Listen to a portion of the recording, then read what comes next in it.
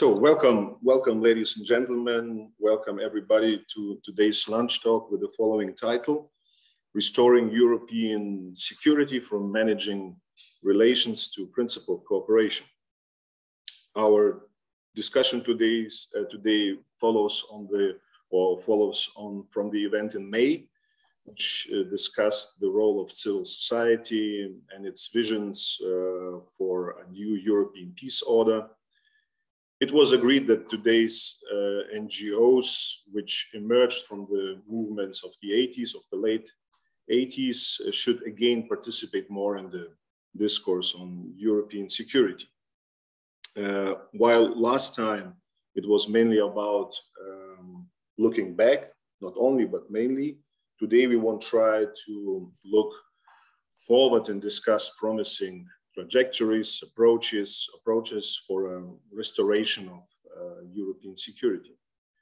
Uh, because um, most of us feel that or see that the European security is in a bad state and a bad condition. So this is the, the purpose of our uh, event today. And uh, for this purpose, we have a very excellent panel of experts today. Uh, the panel is excellent because, uh, last but not least, we have a Pole, a German, and a Russian on it, and uh, a moderator from neutral Austria. So the we have perfect conditions. Um, I would now like to introduce these guests very briefly. Um, first, we have Ute Finckh-Krämer. Um, she is a policy, a peace policy expert, former member of the German Bundestag, where she uh, worked a lot. She were very engaged in arms control, disarmament issues, and uh, yeah, peace politics. Uh, our second guest is Irina Busygina, professor at the Higher School of Economics uh, and director of the Center for Comparative Governance Studies. And uh, our third guest uh, is Lukasz Kulesa, Deputy Head of Research at the Polish Institute of International Affairs. Former, he was uh, director, the research director at the European Leadership Network. Correct me if I'm wrong. and uh, my name is Simon Weiss, and I'm a researcher at the Regional Office for Cooperation and Peace in Europe of the Friedrich Ebert Stiftung. So um, I would like to start uh, with Lukasz um, because he's a member of the Cooperative Security Initiative. Um, and the title uh, of our today's discussion is the title of uh, our latest report from this initiative. And um, Lukasz, what interested you in this, in the participation uh, and approach of this project and to what extent are the steps, um, short, mid, and long term, um, proposed as a result, uh, politically feasible uh, from your perspective? Uh, thank you very much, Simon. Thank you for the, the invitation uh, and uh, the opportunity uh, to discuss uh, our work. Uh, and I, I, won't go into the, the details uh, of describing uh, the, the project uh, and the products, uh, and everybody can just have a look the Cooperative Security Initiative.org uh, website is, is up and running. Uh, and uh, on this uh, website, uh, you find not just the details uh, of the, who are the experts involved and how we how we work, but most crucially, the, the report, which I still have in this traditional form, but you can easily download it. Uh, so the, the initiative uh, convened uh, by uh, your office, your regional office in Vienna, and by by GlobSec, um, with the support uh, of of OSCE Secretary General and the, the, the Secretariat. but I have to say that at the very beginning, I thought, "Oh my God, not again!" Not another group of experts and not another report uh, on the work of the OSCE and of the state of the OSCE, because we had uh, a number of such reports, uh, some even recent, and they uh, were done by people much wise, much wiser than me. Uh, but then the recommendations were usually politely listened to and then ignored. Let's put it like this. Uh, so I was I was relieved that we took a, a, different route that we didn't discuss OSCE work as such or the or the inner uh, uh, problems, challenges, and prospects of the organization, but but we took cooperative security concept as as a point of departure because that allowed us to do to look a little bit uh, broader and ask some of the first order questions of why are we doing, uh, what are we doing, uh, or uh, where, where are we now when it comes to European uh, security. Uh, and it's, it's been a diverse uh, group of, of experts. and I would just to say how, how great it was to cooperate and discuss with them all. And we had some pretty intense discussions on some issues. But I think what we had in common uh, despite nationalities, regions of origins, uh, political outlooks, uh, two things. One, uh, concern about the gravity of the situation, the trajectory of developments uh, in Europe. And then, second, the conviction that we can actually do better. We can do better and we should do better. as community of states, but also as concerned citizens um, of uh, the OSCE uh, area. But we, we started in a bit of traditional way in terms of, you know, if, if we think about report, what should be in the report, how we should write it.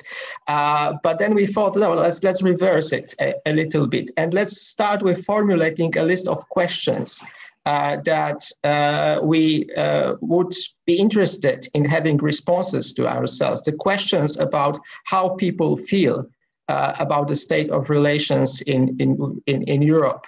Uh, do they feel that the current situation is the optimal one? What do they fear? Uh, what are their hopes when it comes to, to, to security? Uh, then going a little bit into details, do they see Russia as part of European security system? Do, you see, do they see the United States as part of the European security system? Uh, do they see common values uh, as a prerequisite for cooperation? So we came up with uh, 19 questions because we also expanded to the, the, the, the questions about the consequences of, of COVID. Um, and uh, no, ideally, uh, we would force all OSCE ambassadors in Vienna, all diplomats, and all leaders to, to basically sit down and take this questionnaire. Um, but uh, we just put it out there for everyone to uh, to, to fill up, uh, and I think we ended up with uh, around 300 set of responses, which informed our work uh, and we cite uh, the, the results in the report. Uh, but of course, this is not uh, an objective take. This is not a representative take uh, of, uh, of, of our populations. so, you know, I, I wouldn't necessarily draw far-reaching conclusions out of the percentages um, that we cite, but it is interesting that for the people who care enough uh, about cooperative security to fill up these forms, these were the responses that we, we had. Uh, and I will just point out to the four scenarios that we thought come out of these uh, responses. Uh, one is uh, battleground Europe. So the idea that things goes go even worse than they are right now, and we ended end up with violent conflicts all over the place. Uh, second, what we called uh, the Groundhog Day Europe. So the idea that you wake up every day to almost the same situation, that there are ups and downs, uh, but you know, nothing changes. Uh, the third option, stabilized Europe. So we kind of uh, at least deal with the most pressing issues and uh, we make the situation, yes, stable. Uh, and then uh, cooperative Europe, uh, the, the situation in which we actually uh, overcome our most important differences, find ways to, to work together on a number of, of challenges.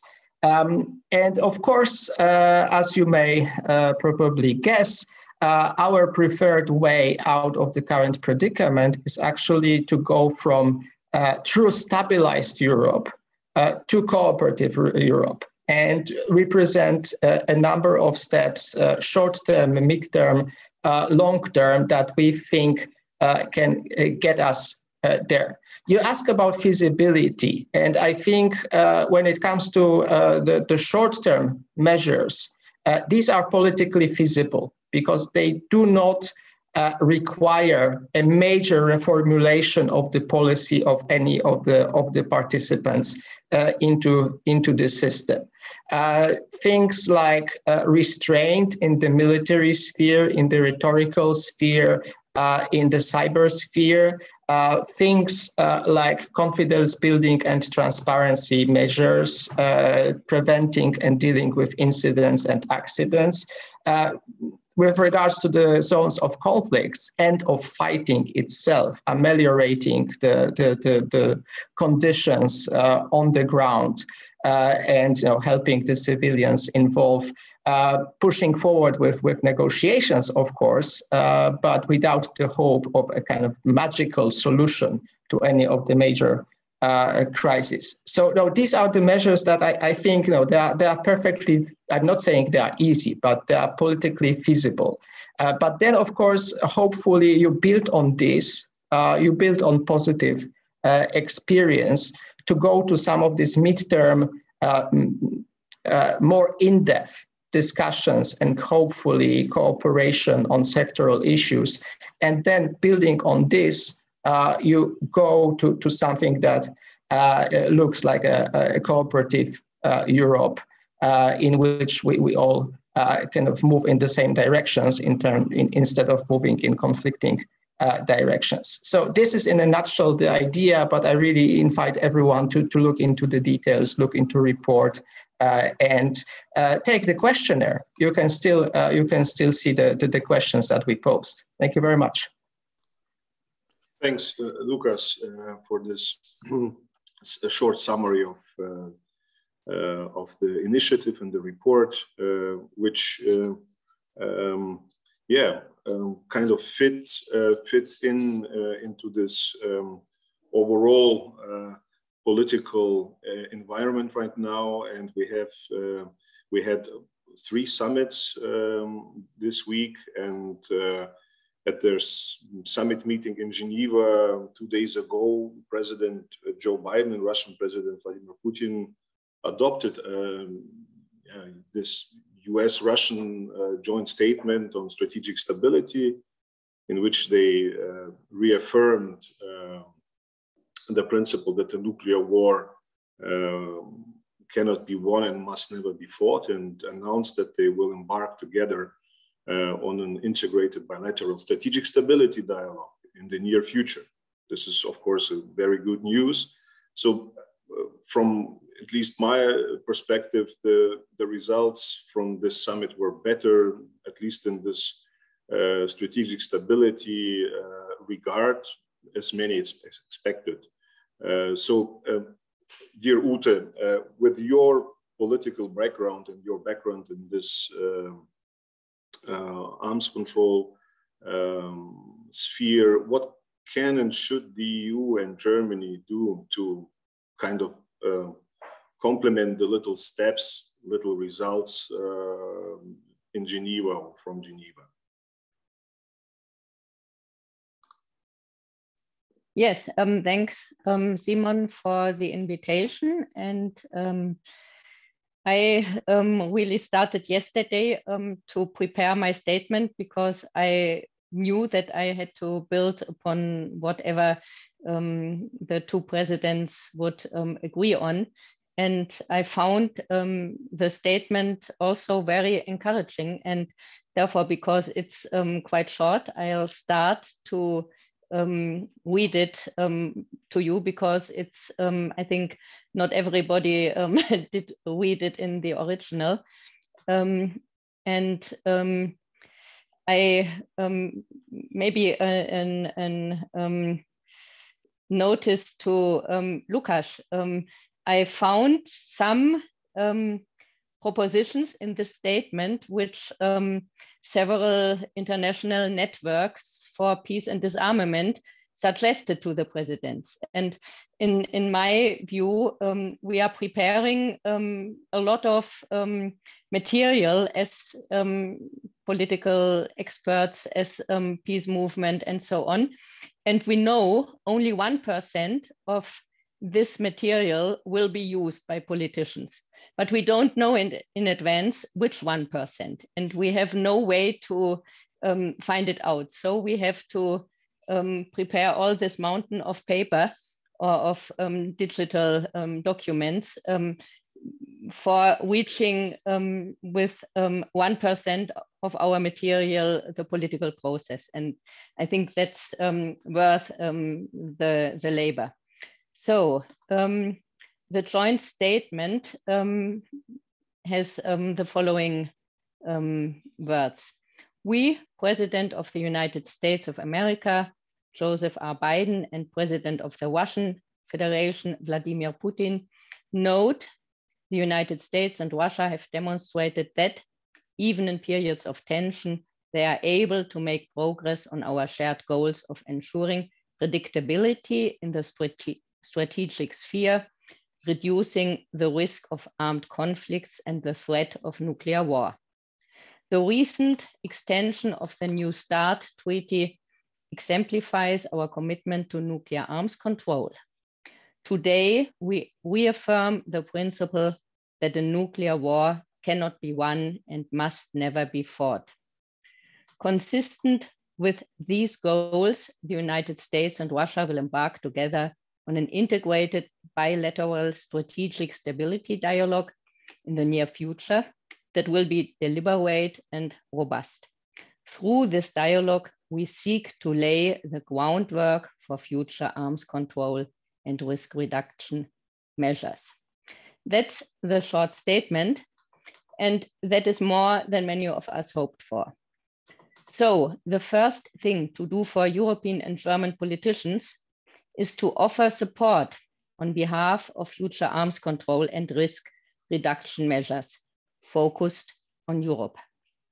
They can refer to the recommendations of the participants of the expert dialogue on NATO-Russia military risk reduction in Europe from December 2020, formulated by a broad coalition of experts and mostly former high military personnel and diplomats from Russia and several NATO countries, especially the United States.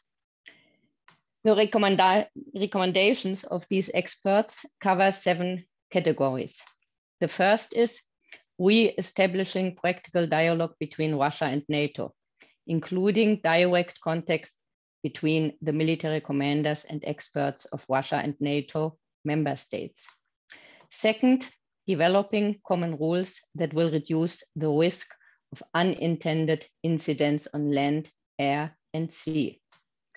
Third point, enhancing stability by increasing transparency, avoiding dangerous military activities, and providing dedicated communication channels that would avoid escalation of incidents that might occur. Fourth, point, utilizing and possibly supplementing the 19, 19 97 NATO Russia Founding Act to codify restraint, transparency, and confidence building measures. Fifth, exploring possible limitations on NATO and Russian conventional force deployments in Europe to enhance transparency and stability. Number six, establishing consultations between Russia and the United States and NATO on the topics of intermediate range missiles and ballistic missile defense in order to prevent a new nuclear missile race in Europe. The seventh point is preserving the Open Skies Treaty, which could be a task for the remaining parties of the treaty, many of them EU member states, as part of a medium-term strategy to persuade the United States and Russia to participate again in this treaty.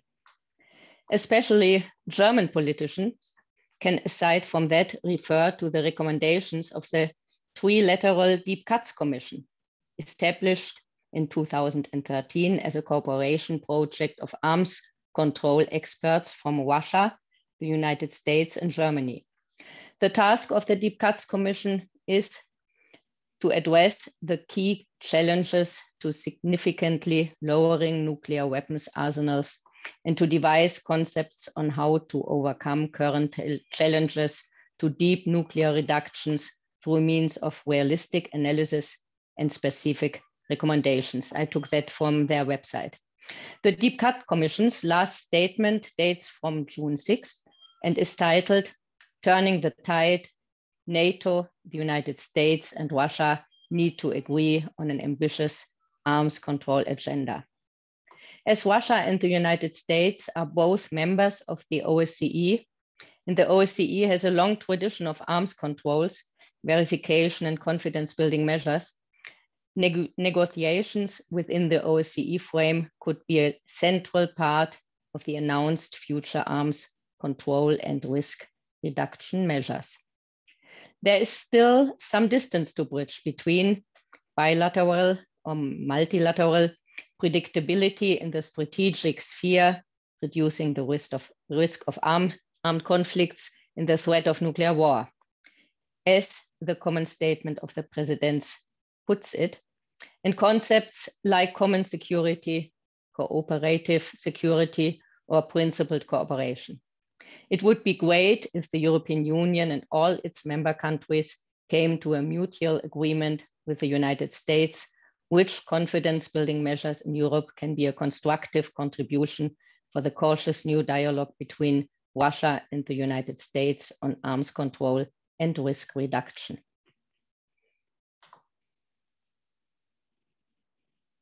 Thanks, Ute. Thanks. Um, I will. I will. Uh, I would like to come back to the um, to the actors involved in the uh, European um, European security. Uh, it is all, of course, uh, the EU. It, it's it's Russia. It's uh, the EU's neighborhood, so-called states in between, or Eastern Partnership states but also uh, the United States. So um, many political observers um,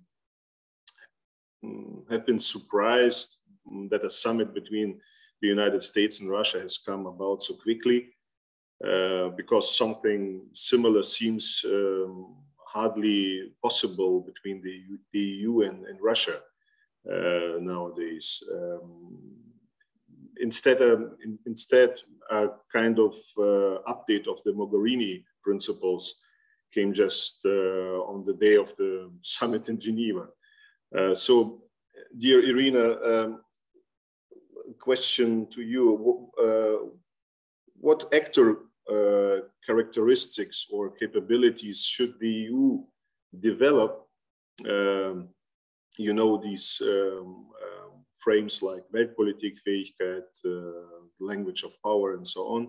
But I mean more the uh, smaller or more concrete uh, characteristics and capabilities uh, so that a relationship with Moscow can be established on an equal footing and so that an EU-Russia summit uh, can be added to the US-Russia summit in the future, for example. So how should uh, the relationship between Moscow and EU be structured and what the EU should kind of uh, develop to be an equal uh, partner uh, from Russian uh, perception, in the Russian perception?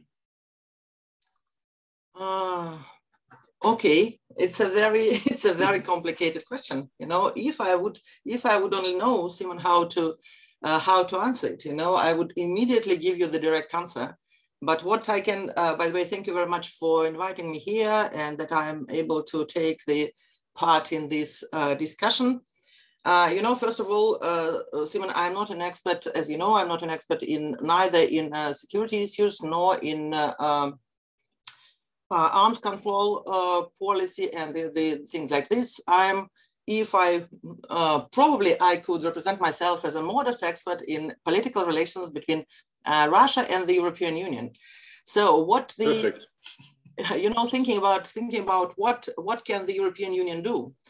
Uh, well, if you remember what Lukasz said, he said uh, gravity, gravity is deep in the situation. This is absolutely beyond any doubt. And uh, we can do better. The, the question is, can we?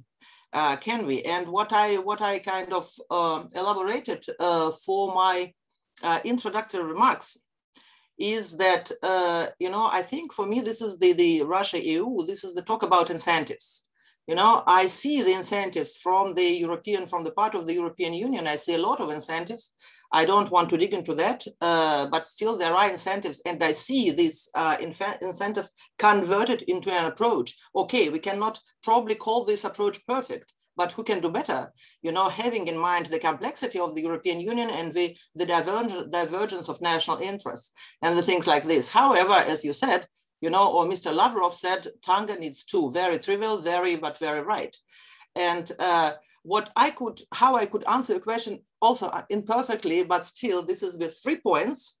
If you, if you, if you uh, allow me, what the European Union has to take into consideration, uh, thinking about the about uh, shaping or framing its uh, overall approach with regards to the Russian Federation, be it on the equal footing, who knows what is equal footing? you know i you know this is this is also it's a kind of very very very vague uh, term if you want. But three things i want to share with you. The first thing is that uh, in russia there is an understanding that uh, there is nothing sorry sorry for being that rude. I'm really sorry so i i please in advance right? Uh, but there is in my in my guesses in my sense there is an understanding that uh, there is nothing in the European Union that Russia can learn. You know, this is the things that the European Union is good at, uh, being at peace and security in the broad term and the concrete term, or the, the, the, I don't know, green agenda, or not to talk about the human rights. You know, this is not, the problem is that this, this overall set of, set of things is not interesting for Russia. If you, if you remember this, uh, if you compare this situation with this, uh, which existed uh, 12 years ago, uh, then it was the last, the last breakthrough or the attempt uh, to break through when the president, uh, then President Dmitry Medvedev, uh, with the European Union, came forward with the with the partnership for modernization. At least it was an understanding that the European Union was the, all, the only external, call it, call it actor, call it power, I don't know, but the only external somebody who would be interested in Russia's modernization. Then the question, why do we need European Union beyond market, beyond the market for our energy product? At least the answer was we need it for modernization. This agenda doesn't exist now. So my concern with regard to the EU is that it's not about that much about values, about this is about different agendas. It's about different prioritization. The, this is, was the first thing. The second thing is, uh, I call it, uh, oh, oh, we are ready this is the Russian approach, by the way, very cunning one. You know, whenever I uh, listen to the high officials of my country, or if I listen, or almost uh, whenever, or if I listen to the, which I listen and watch a lot, to the uh, talk shows, political talk shows, you know, you know, this is this is the Russian approach. We are ready. We are always ready to for cooperation, and this is a very kind of tricky thing because the idea is that Russia is always ready so who are who are who are unhappy? These are you Europeans. We are happy, you know, and it looks it, it makes it very difficult, you know, kind to inbuild and to or to should I say destroy or kind of dissolve this kind of eternal readiness. And this readiness does not correspond, this is the problem, to the actual activities of the Russian Federation. You know, this is this is this is the problem. But here to the to the to the audience, to the to the Europe, to to our domestic audience, we are always ready. Yes, you know, but this is this is ready ready, ready to what? So we are, but we are ready. And the the um, the third point the third point probably this is the most important one. But uh, and this is the point about what what does Russia want, and this is from what the European Union should, you know, necessarily uh, needs to take into consideration. Does Russia want more conflict with the uh, security issues or whatever issues? I don't think so. Does Russia need less conflict? Also, the question is probably also not. What, what I have in my sense, what Russia would like really to do is to be able to control the degree of conflict, to be able to switch it kind of, you know, when we need it more, we do it more. When we need it less, we need it less, you know. So, but this is, this will be an, another kind of uh, question. Is it, is it, is this uh, desire feasible? It is not. It is not, but it's still it's still there. So the idea is to kind of to be able to manipulate with the level, with the degree of tensions and the degree of problems, and switch from one one problem to another with the uh, all the all the motto: we are ready. We are ready to everything. You know, and this is this is this that makes it very and this is by the way the last thing i want to say this is this is for me this is overall the explanation why uh, the russian federation uh, is still did not produce anything which we could call an uh, principled or based on principles, any principled approach to the European Union. You know, the European Union, okay, it is imperfect. Another, again, you know, I'm, I'm, I'm going in, so in, in, in, a, in a circle. The, it is imperfect, but this is, this is the attempt to do it.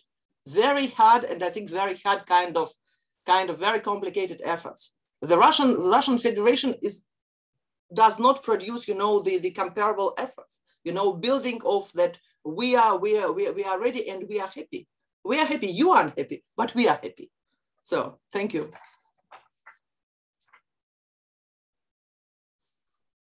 Thanks, Irina. You, I think you set the right tone. So please uh, uh, let us be uh, rude and frank and, and outspoken. So um, let me um,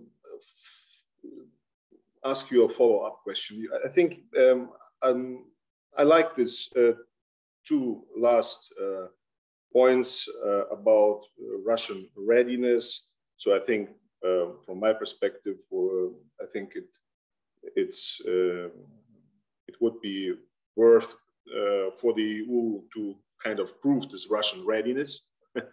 and for example, with the, the steps which uh, Lukasz mentioned from our joint uh, cooperative security uh, initiative, but also what uh, Ute explained with the little results, little steps, and um, in the NATO-Russia conflict zone, but also in the uh, in, in, terms of in terms of arms control and confidence building measures. So there are a lot of uh, smaller islands of cooperation, potential islands of cooperations, which should be uh, negotiated, addressed. And my concern is, and it was my initial question to you, that the EU is uh, propagate, uh, propagating some kind of, uh, someone called it, uh, some, some expert called it strategic indifference. So we, we have only to wait and do nothing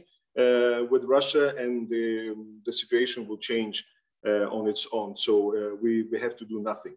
I think this uh, second point, uh, Lukasz, uh, I'm, I'm, I'll come back to you in a moment. So I think this um, uh, point with uh, proving Russian readiness, uh, even with small steps or small issues which ha have to be negotiated, is, is a good one. And the other, this um, control of the degree of conflict. So this is, resonates with the escalation dominance debate, kind of. Uh, both uh, points are, are important. But uh, my question is, I think you wrote last year an article where you discussed with a co-author uh, the, I would say, the Russian uh, political logic of integration in the post-Soviet sphere. Uh, there is kind of a spectrum between domination and cooperation when it comes to the to partners in the so-called Eurobroad can anything be deducted from this observation for the relationship dynamics between Russia and the West? So do we have a similar, uh, I think it's kind of uh, similar to this, what you uh, uh told or explained with the third point, this uh, Russia is trying to control uh, its relations um, dominance versus cooperation. So is there a thing which we can learn from, from, from your research, how to, uh, yeah, how to prove Russian readiness, how to confront or how to cooperate with Russia? Thank you, Simon. Another most difficult question. Uh, thank you very much. Today, only difficult questions. Today, only difficult questions. Uh, you know, this is, uh, first, I would like uh, very briefly to comment on what you said.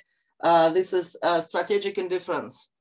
Uh, I think this is, this is at least in my, in my understanding, this is probably, I don't know, I, I think the idea is not kind of possible, you know, because the, the, the European Union uh, so the, the countries of the European Union and the European Union even more so uh, do not control, you know, all the actors which would do the external relations, so with, with the Russian Federation. Okay, you know, my idea was that what if, this was my idea and the idea of my co-author, Mikhail Filippov, so what if the uh, the uh, countries of the European Union and the European Union would promise Russia, would guarantee Russia, we don't interfere in your internal, in Russia's internal affairs. We don't uh, defend Navalny, we don't talk about human rights and so on. So we are, we are just, you know, would it be the, the, the good kind of ground to start proving Russian readiness, as you said, right? The problem is that this is not possible that these are these are these are still multiple actors. So this is first the NGOs, so which are which will still, you know, so so this is not possible to to split to to give such a guarantee, to give a credible commitment that the, neither the European Union nor Germany nor France would ever interfere into uh, what Russia thinks is uh, kind of contributing to Russia's possible or impossible democratization. This is not this is not this commitment can be can be kind of done. So and this is so. Uh, so this is strategic indifference is not possible. It's just an option. It's it's it's not a feasible option. You know, it's a good good word combination. So what? Uh, and then this is uh, uh, another another thing is that uh, yes, what we try to do, we try to see how Russia how Russia builds their relationship with the near abroad. Near abroad is an old term, okay, with the neighboring countries formerly uh, belong to the to the to the uh, the republics of the of the Soviet Union.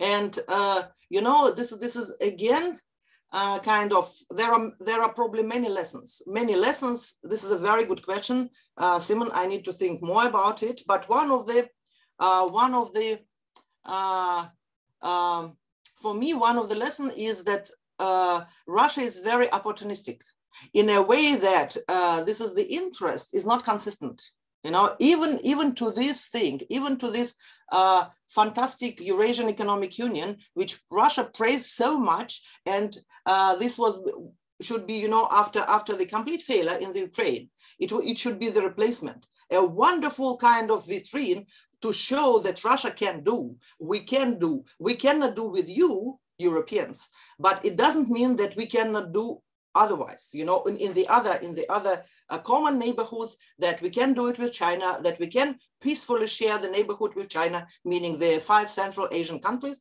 and so on and so forth. So the problem is that the interest, you know, it comes and go. And this is, it's not, I wouldn't call it unpredictability. It's not the unpredictability, but this is, uh, it means the, it puts under question, again, the, the strength of Russian commitments to, to any project, you know, whatsoever. And this is, it makes Russia a very uneasy partner to anyone. You know, again, we are not talking about that Mr. Putin want to have this hook and unpredictability hook and hang all of you on this hook, you know, and he can do it. He thinks, okay, well, uh, but this is this is this is the this is the problem that a lot of things that Russia starts, you know, the uh, the reasons for starting it, you know. So this is this is this is again, this is for you. Okay, you will you will come you will come to Russia and say, okay, Russia, uh, let's try your let's uh, try your your uh, your readiness. You know, the the problem is that that Russia that you cannot rely even if Russia says yes. You know, it can it can be yes today and no tomorrow, and I don't know in a week. You know, and this is and this is you know, and and a lot of objective reasons of why. So it means this is this is this, this kind of partner you know is very so i try to answer but there are also many other thanks. lessons and thank you very much for this very thanks. very very good question thanks irina thanks i, I think uh, Lukasz had um, um, a question or two finger to this to this issue Uh, yeah, a, a, couple of points, uh, if, if I may. You know, starting with uh, the, the, the reports and recommendations that uh, Ute uh, mentioned. Um, and uh, I, I, have been participating in some of these, these discussions, and I think that it's almost too many of these recommendations and, and proposals. And they go in many different directions. And frankly speaking, if you look from Warsaw, some of these proposals uh, seem to go a bit uh, too far. Because if you suggest that basically uh, no major exercises and no major deployments can happen near the Russian border, um, it means much more for Polish security than it means, for example, for, for German or uh, Italian uh, security. So you know, the devil is in the details, but I think there are some no brainers there. Uh, including, for example, expanding the range of the military to, to military uh, contacts. Um, and it's important what, what Ute said that it's, it's, Europe needs to be in the game. I'm not sure if we can manage at the level of the European Union, but uh, a lot of our countries are members of NATO, so we can shape this debate through through NATO. We can shape it through our uh, contacts. Uh, with the United States. Some also can shape it through their contacts with, with Russia, and there is a French Russian uh, dialogue on many things that is apparently progressing without much progress. Uh, but know, it's it's important that as much as we like and trust the Americans, uh, we don't just leave it as uh, an American-Russian conversation. And I'm, I'm very encouraged that uh, the Biden administration is sending the signal that they like they would like to to, to coordinate um, and, uh, and and and and and have a uh, conversation about it. Uh, on Irina points, I, I, I loved uh, your description of, of uh, Russian attitude towards the European Union. Uh, and uh, I have to say that on the other side, also to be blunt, I think there is increased frustration and disillusionment um, with the relationship with Russia. Uh, and the, the uh, uh, Russia engagers, let's put it like this, they are in defensive. So people who are saying, you know, it's it's so it's so bad that we don't have a relationship. What more can we offer to Russia? What more can we put on the table uh, to make Russia interested? Um, uh, these people are in the in the defensive because, uh, according to I think EU logic, a lot of things were put on the table uh, and were not picked up by, by Russia, or they were picked up so selectively that basically it made sense for Russia to engage. It didn't make any sense for the EU to engage. Uh, plus, if you brought some more sensitive top topics, uh, we say, okay, let's discuss Ukraine. Uh, at this point, Russia usually responds, what is there to discuss? We are not part of any conflict in Ukraine. Uh, let's discuss Belarus. Oh, nothing is happening in Belarus. Uh, so no, it's it's a it's a selective, a very selective approach to the discussion. On the other hand, the idea now, how can EU uh, uh, cooperate closer with the uh, with with Russian economy and provide more investments, seem to be an interesting topic for uh, for conversation, or at least used to be. Um, so, so I, I, think that the frustration is mutual, uh, and the, the, frustration grew bigger uh, after Borrell's uh, visit uh, to, to, to, to, Moscow, uh, which uh, symbolically opened many eyes that were closed so far. So, so I think with the EU-Russia relations, and having Borrell said it himself, things would go worse before they can get uh, better. Uh, and definitely the idea of selective engagement is down in the list of, of priorities. Uh, but on some issues that we discuss, uh, the, the, I think the dialogue will be ongoing, even if you know, no breakthroughs uh, over there. Um, I think on some of the hard, hard security issues, there is space in NATO Russia, but there is space in the OSCE. And you know, it's not just because uh, the project was linked with OSCE, but I really think that the OSCE uh, remains one of very few, uh, very few formats uh, that we actually still meet and we, we still uh, talk. And you know, I was uh, very worried, for example, when I read Andrei Kortunov's recent piece, uh, when he was discussing the, the, whether Russia should stay or leave. Uh, the OSCE, mentioning some voices inside Russia uh, questioning the value of the OSCE for, for, for Moscow. And I thought, okay, we are at the very, very a bad situation in which you know the, even though SCE is is, is questioned.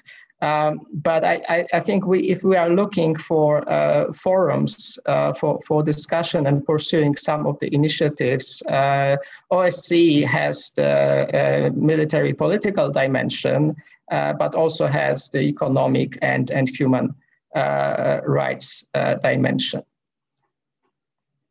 Thanks, Lukasz. Um, we have um, not so much time left, but I have a question from the audience, and Ute uh, wanted also to react um, to this issue. So, Ute, please go first, and then I will um, um, ask a question from the audience. Yes. Mm -hmm. Yes, I, I, have a question to you, Irina. Um, in Germany, we are discussing at the moment if there is a possibility for cooperation on climate change um, with Russia um, on behalf of um, green hydrogen. Um, that means um, to, to um, produce with wind energy or solar energy in the big, big Russia, the hydrogen Germany needs for becoming free of, of, of CO2. So is could that be an offer which would be interesting for Russia?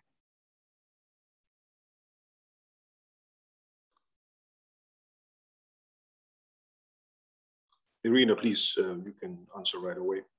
mm -hmm. uh, uh, Ute, uh, mm, Simon, what should I answer? Should I, because I, I would like to answer the question of Ute, I would like to make the, the comments on what Lukasz, very, very, very short, what, what, what Lukasz said. And you also, can, on, yes. what should I, what should I do? And uh, to make it complete, I will ask you the, the question from the audience. Then you have three questions, uh, basically, but I will ask you to, I ask you to be uh, very brief in your answers because I have a, a last question, with, uh, which is which goes to all of you. So the question from the audience, uh, on top of the other questions, is: uh, Do you think that the Russian decision makers understand the point that nobody in Europe could give a guarantee on strategic indifference due to the populism in our societies and democratic political processes? Pluralism, pluralism, not populism. Yeah, pluralism, right. yeah. No, no. Uh, the question is uh, with uh, pluralism. Yes, yes, not populism. Sorry. Yeah. Uh, uh-huh. Uh, Ute, thank you, thank you for thank you for the question. Uh, uh, I think that uh, again, again, these are my guesses, right? So this is because the the question uh, go into direction what what uh, what are what is in the heads of the elite of my country, you know so this is this is i can i cannot i would like to to to be able to open it and to look inside but i can't uh, so my guess uh, the answer the answer to a question is yes okay at least uh, formally this is this is a very uh, it's a more and more popular popular agenda uh, for Russia. And so here is yes. The problem is that I don't expect a spillover to the political relations. So it will that, that it will it will kind of be converted into improvement of the political relations. This is a this is a different different sphere. But this is this is but this is a possibility. I, I agree. And uh, what Lukasz said, uh, yes, about about Borrell. You know, he happened to visit Moscow in a very unhappy time. Uh, by the way, exactly in the middle of the of the uh, protest for Navalny. Exactly when the when the the, the establishment was very much irritated because it was very unexpected what happened you know and and and, and other things but but but but but i i i generally agree with all your with what you said but what i would like to add and this is what is very important and what that the european union also needs to take into consideration that there is no no pro-european lobby in russia because you know i i try to look this is this is my topic and this is what i would love to take part in uh, but there are no no uh, kind of considerable or important NGOs, and there are no political groups. And why do you know, Ute? This is this is this is this is this is was one of the consequences of the Ukra Ukrainian uh, let's put it, uh, integration of the Crimea to, to the Russian Federation, because this is absolutely a red line. It's absolutely a red line. No politician in Russia would now dare to say that this was not an absolutely legitimate step from the Russian Federation. So this is this is no way, and this is and it makes this also this crossing between Europe and us. So and, and Russia. So this is this is okay. It's absolutely taboo to talk about this thing in Russia. Uh, right. And with, reg uh, with regard to the question, do the, the Russian elites know that the European Union can stop penetration of the non-state uh, non-state entities or, you know, uh, I don't think that, that, that this question is um, not kind of, how should I say it, rightly formulated because, okay, I can give you answer, they don't understand. If they don't understand, uh, they would say, just stop it to the European Union. We don't know how, but we don't understand, just stop it. From the other side, if they understand it, you know, they would still not allow that because in their priorities, you know, the internal stability and the internal kind of consolidation is that much important that they would play as if they don't understand it, even if they do understand it. So, and this is this is again kind of the uh, difficulty. Thank you. Thanks, Irina. Thanks uh, for answering the question. Questions. Um, um, I have a question uh, to all three guests. So, uh, among many, uh, because Irina right now uh, talked about uh, red lines, so there is a, a, other besides Crimea, another prominent red line, at least in Russia. Um, and among many divergencies uh, of interest between the collective West, so-called collective West and, and, and, Russia, one point of uh, mm, contention stands out in particular, and that's uh, uh NATO's so-called open door policy or the prospect of uh, NATO membership for Georgia and Ukraine and I think for, um, this is a fundamental divergence, and the statements on this in recent days, just before the summit uh, from Russia, but uh, also during the NATO summit, uh, kind of man manifest the status quo in this respect. So the question is, if, even if we uh, de-escalate, so take uh, applying this short-term term uh, recommendations, between Russia and NATO. Uh, even if we leave uh, Crimea, Syria, Libya, cyber, and other malign activities and some other conflict issues aside, we always come to the point of NATO enlargement to the east. So uh, it is a, is a strategic balance of interests, uh, like in the old uh, conference for cooperation and security in Europe uh, times possible at this point? Are there B or C plans for this? So uh, who would like to answer this, uh, uh, this question first? I don't know. I, I, can, I can, I can go first, uh, uh, and so I, I think uh, the we should go back to, to the principles that we've developed during the last decades. Uh, one of such principles is that non-interference uh, in internal affairs is not absolute, that we all agreed uh, that on some issues other countries uh, can uh, comment and can, in a sense, interfere in our affairs because they are not our internal affairs. Uh, and you know, through OSCE, through Council of Europe, we interfere in each other's affair all, all the time. Um, so it's, it's, it's not this absolute. I, I don't really see the prospects of coming back to this idea that you know what happens in Russia is Russia's business and what happens in Poland is Poland's business. I mean, we, we kind of cancel 30, at least 30 years of our history of that. And the same goes uh, with the, the right to freely choose the alliances, which, are, which, which is there um, in a set of, of rules and, and, and principles.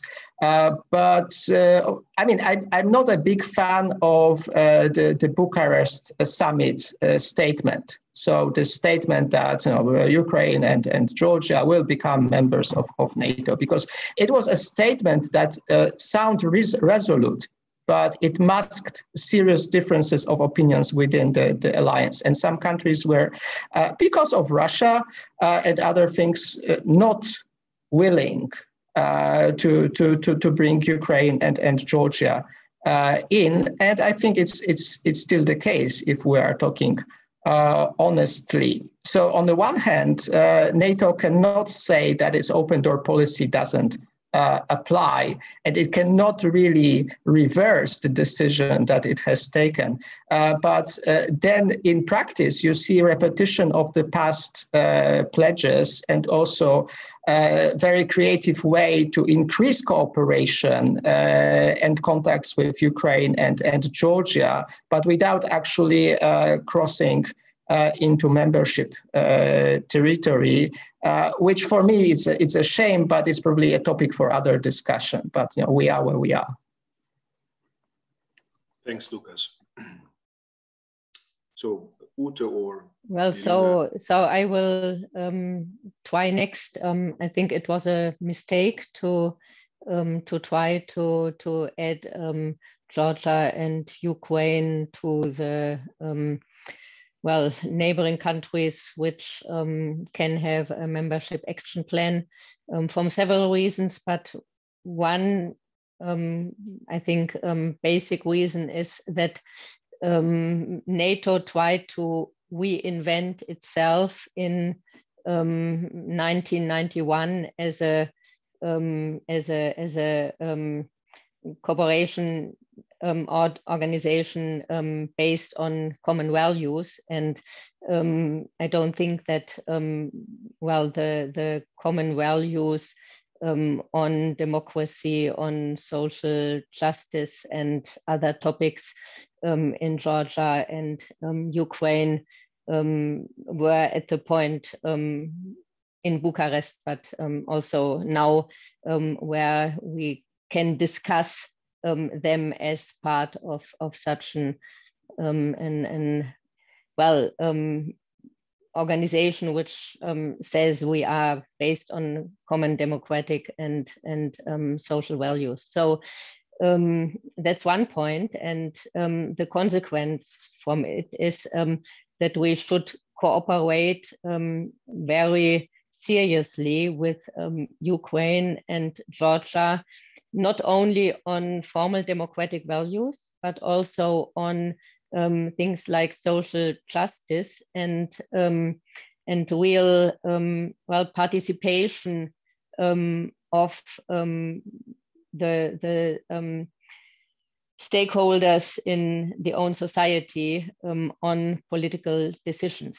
and that means cooperation on the communal level, for example. And um, I know the Friedrich Ebert Foundation is um, very engaged in such um, well um, discussions in not only with Eastern European countries but worldwide. So that could be a point um, for Friedrich Ebert Foundation as well. Thanks, Ute. Irina, please. The... Yeah, one, one, one, one or two sentences. Uh, well, I absolutely, absolutely agree with Lukasz. Yes, this is this is the the the free joining of the international alliances. This is this is again absolutely the the free choice of any sovereign state. You know, so this is nothing nothing you know could say against this. So this is this is if the country want and if the alliance is ready. So I don't. Yeah, but but this is yes, and this is and then and then comes not no, but then comes uh yes if if and and and we know how many years do Georgians wait for it? You know, it's not not the Ukraine. Much, much, much, much earlier. You know, has Georgia Georgian government expressed the the the, the wish to join to join the the uh, the alliance? But uh, at the same time, you know, as uh, Dmitry Trenin for um, two three years wrote that uh, Russia already operates as a as a kind of a state in war or close to war. And uh, NATO should, should take into account absolutely that this will be, this joining will be taken as an extremely, extremely hostile step. So, and then this is, so this is the risk. The risk after this will be tremendously. So it will be not uncertainty, how we nicely put it, or new normality uncertainty. It'll be, it will be the risk. The risk will be the risk, I would say, of everything. So, and this in this case, so this is this is again we have what we have. So, sorry, sorry for this. I'm I'm not very very optimistic about it. Although I'm an optimist. You see it. Thank you. Thanks, Simon. thanks, Irina. Um, so I will take the part uh, for the optimistic closing remarks. Um, so it may sound banal, but the, I think the bottom line from the uh, Geneva summit as well from from the work in the cooperative security initiative is that we should enter into pragmatic negotiations, um, knowing all the red lines, uh, knowing all the difficulties uh, concerning unity in the EU or uh, the um, the uh, difficult Russian readiness, uh, which is uh, not always clear. But we kind of need to enter into pragmatic negotiations without a, without a sufficient level of trust, as we saw two days ago um, in Geneva. If the political will is there, then you can try and um, make such moves, make such initiatives.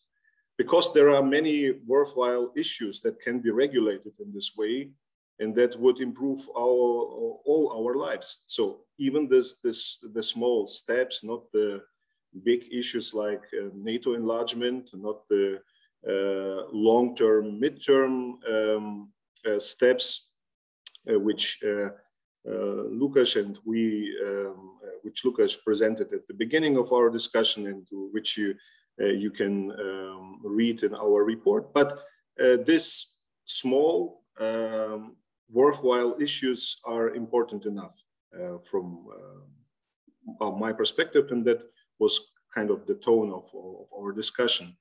Uh, that is always better than constantly listing threats and investing in, in even more deterrence. So if you look at the strategic compass debate, uh, so this is based on threat perceptions, listing threat perceptions, uh, try to kind of uh, find a, complementary list of uh, threat perceptions, but we should um, try to list more common interest and not uh, uh, common threat perceptions. so this is um, I think, uh, very important. And this is my uh, takeaway from, from our today's uh, lunch discussion. So um, on behalf of the Center for Eastern European and International Studies and the Regional Office for Cooperation and Peace in Europe of the Friedrich Ebert Stiftung, I would like to thank our guests today. So thank you very much. And many thanks also to the viewers who were present today, despite the fantastic weather across Europe. Uh, um, and I hope we will see, see some of you again at our next lunchtime talks as part of the 30 post-Soviet years series. So hashtag post uh, 30 post-Soviet years. So stay tuned and uh, see you um, at the next uh, or yeah, at the next uh, lunch discussion and stay healthy. Bye bye from Vienna.